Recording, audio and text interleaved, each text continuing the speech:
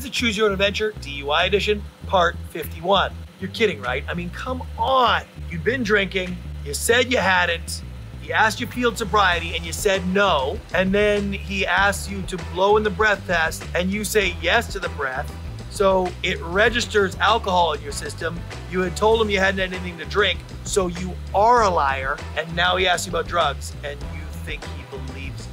I mean, I didn't even want to record this part because I didn't really think anybody would choose this. But here you are. So please go back to part 37 and try again. No, he does not believe.